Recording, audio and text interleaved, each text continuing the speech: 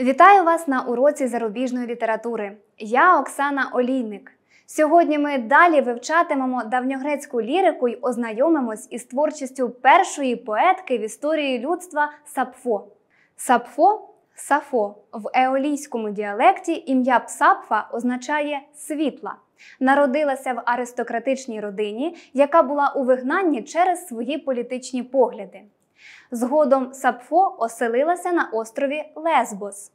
Там заснувала поетично-музичну школу для дівчат шляхетного походження і називала її будинком муз.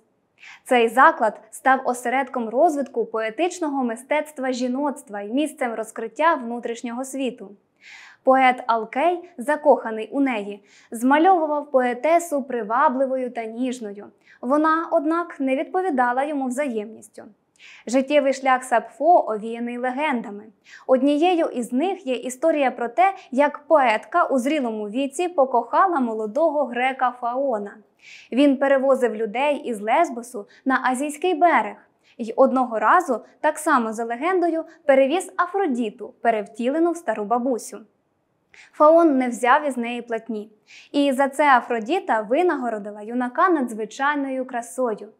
Кохання Сапфо не було взаємним. Подейкують, що вона скоїла самогубство, стрибнувши в море з Левкацької скелі. Легенда набула такої популярності, що свого часу римський поет Овідій, вражений долею Сапфо, написав від її імені передсмертного листа, який увійшов до збірки Героїди. Відтоді поширився вислів кинутися з Левкацької скелі, очистити душу від пристрастей. Літературна спадщина поетки нараховує 9 поетичних книжок. До наших днів дійшли лише фрагменти творів, близько п'яти цілісних текстів, а також численні згадки сучасників про неабиякий талант Сапфо. Пригадаймо з минулого уроку, що вірші цієї поетки належать до мелічної, сольної лірики. Основною темою віршів було кохання. Почуття Сапфо зображує пристрасним, тілесним і земним. Окрім цього, є цикл поезій, присвячений доньці Клеїді. Другою темою, яка переважала в творчості Сапфо, була природа. Для мисткині вона виконувала роль тла, що підсилює інтимні почуття, переживання. Лірика Сапфо наближена до фольклорних мотивів, а саме до епіталамій, пісень весільної обрядовості. Ліричні твори сповнені оптимізму, радості, глибокого переживання почуття любові, бажання з'єднатися з природою. Серед жанрових різновидів поезії Сапфо були епіграми, елегії, послання до подруг.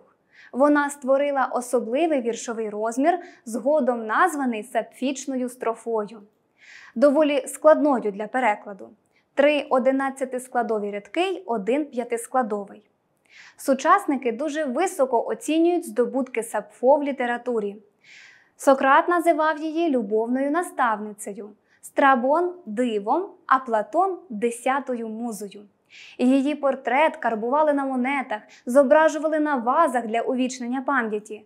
В Сіракузах збереглася статуя поетки, вирізблена скульптором Сілопіоном у IV столітті до нашої ери. Українські митці теж зверталися до поезії Сапфо. Іван Франко, Леся Українка, Агатангел Кримський, Микола Зеров, Григорій Кочур перекладали твори Сапфо українською мовою. Проаналізуймо поезію Сапфо до Афродіти. Вірш присвячений Афродіті, богині кохання і краси. Вона допомагала тим, хто прагнув любові, і карала тих, хто уникав кохання. Згідно з античним міфом, Афродіта народилася з морської піни, а там, де вона ступала, виростали трави й квіти. У вірші згадується й пейто, богиня вмовляння, переконування, супутниця й помічниця Афродіти й Гермеса. Відсканувавши швидко код, ознайомтеся з відеопоезією в перекладі Григорія Кочура. Барвношатна владарко Афродіто, дочко Зевса, підступів тайних повна. Я молю тебе, не смути мені ти серця, богине, але знов прилинь, як колись бувало. Здалеку мої ти благання чула, батьківський чертог кидала й до мене на колісниці золотій летіла ти. Міцнокрила горобина зграя, її несучи над землею темною, наче вихор мчала в ефірі. Так мені являлася ти, блаженна, з усміхом ясним на лиці безсмертнім. Що тебе засмучує, що тривожить, чом мене кличеш? І чого бажаєш бентежним серцем, і кого схилити пейто повинна у ярмо любовне тобі? Зневажив хто тебе, сапфо? Хто тікає, скрізь піде за тобою, хто дарів не взяв, сам дари вестиме, хто не любить нині, полюбить скоро, хоч ти не схочеш. О, прилині знов однової туги серця врятуй, сповни, що бажаю, поспіши мені, вірна помічнице, на допомогу.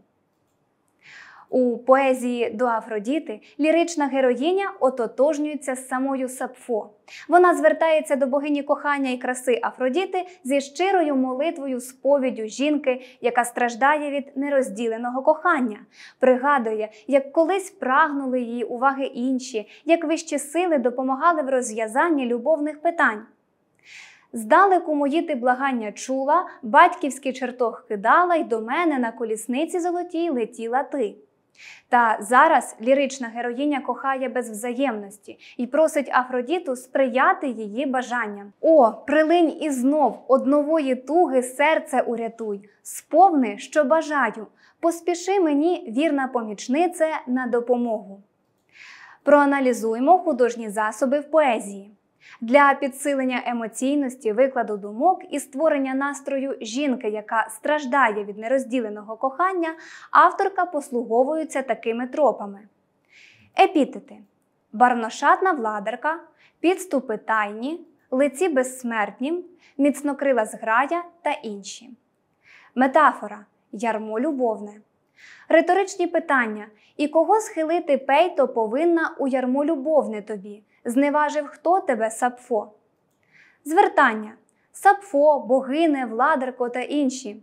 Ці художні засоби посилюють пафос твору і допомагають повніше передати основний мотив поезії страждання жінки, сповненою почуття кохання без взаємності, яка згадує колишню любов. Узагальнімо вивчене на сьогоднішньому уроці. На екрані ви бачите слова, із них потрібно скласти вислів про сапфо, розмістивши їх послідовно. Що вийшло? Фраза лише дев'ять мус називаючи, ми сапфо заподіюємо образу. Хіба ми в ній не повинні десяту музу шанувати? Кому б могли належати ці рядки? Ми вже згадували сьогодні, що Платон вважав сапфо десятою музою. Це цитата з його вірша Присвяти поетці. Поміркуймо, чому ж Платон назвав її так? Бо Сапфо, неначе муза, надихала інших писати вірші, виявляти свої почуття, єднатися з природою й кохати. Виконаємо ще одне завдання. Скориставшись швидко кодом, складіть пазл із портретом Сапфо. Ось така картинка з'явиться після виконання завдання. Упевнена, що ви успішно впоралися з завданнями і дізналися багато нового на сьогоднішньому уроці. На наступному ми поговоримо про особливості давньогрецького театру. До зустрічі!